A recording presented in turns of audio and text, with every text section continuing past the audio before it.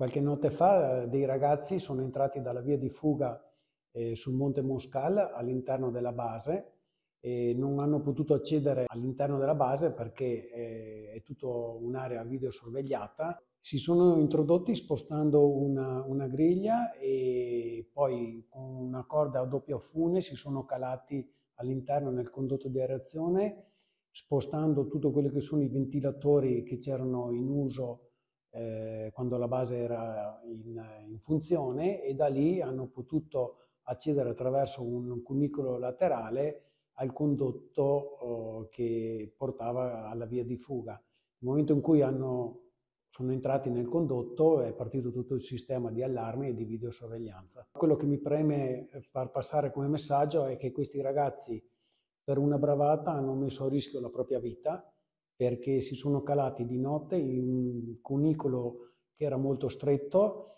e pericoloso. Se succedeva qualcosa li avremmo trovati sicuramente dopo qualche giorno. Con le registrazioni video ho provveduto a denunciarli immediatamente.